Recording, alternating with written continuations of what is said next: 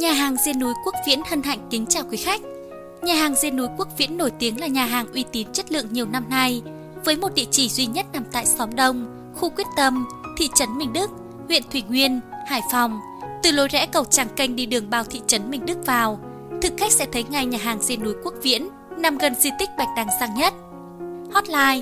0904 997 842 Anh Quốc, chủ nhà hàng 0387 907 998 Chị Viễn. Chẳng cần phải là người sành ăn Bất cứ ai khi ghé đến Hải Phòng Cũng có thể chọn cho mình những quán ăn ngon Để thưởng thức những món ăn khoái khẩu Ngon miệng và hấp dẫn. Trong đó không thể bỏ qua món ăn ngon bổ dưỡng Từ thịt dê núi của nhà hàng chúng tôi. Nhà hàng Quốc Viễn là một thương hiệu quen thuộc Và thân thiện với thực khách gần xa Bởi món đặc sản dê núi chính hiệu Nổi bật với không gian sang trọng Rộng rãi, thoải mái Để thưởng thức các món ăn lạ và độc đáo nên Quốc Viễn sẽ là địa chỉ lý tưởng để họp mặt bạn bè, gia đình, tổ chức liên hoan, sinh nhật, nhận đặt tiệc và phục vụ tại nhà.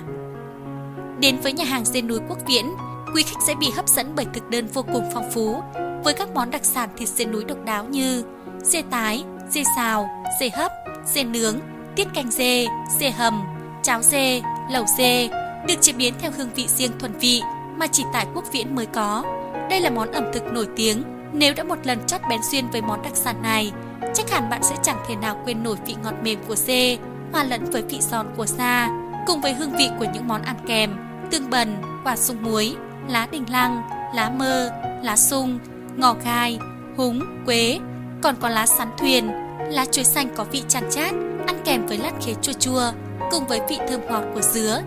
Để rồi mong ước được một lần thưởng thức lại hương vị tuyệt vời ấy.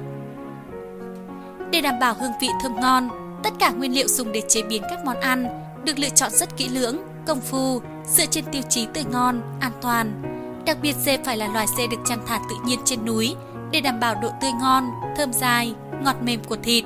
Các loại nguyên liệu này sẽ được chế biến, tẩm ướp gia vị từ đôi bàn tay tài hoa khéo léo của những đầu bếp tâm huyết nhiều năm kinh nghiệm, luôn tâm niệm nấu như nấu cho người mình yêu thương nhất đã làm cho hương vị của món ăn ngon đến thăng hoa tuyệt vời. Chính vì vậy, đến với nhà hàng chúng tôi, thực khách sẽ rất hài lòng với những món ăn đúng gu, hợp khẩu vị, luôn được phục vụ thơm ngon, nóng sốt bởi đội ngũ nhân viên chu đáo, nhiệt tình, tận tâm tỉ mỉ trong từng chi tiết. Với phương châm lấy lợi ích của khách hàng làm mục đích hướng tới, nhà hàng Quốc Viễn không chỉ phục vụ các món ăn đẹp về cách trang trí mà còn đầy đủ dưỡng chất, giúp quý khách có được những giây phút thưởng thức ẩm thực được thư giãn và thoải mái. Nhà hàng trên núi Quốc Viễn tận hưởng hương vị cuộc sống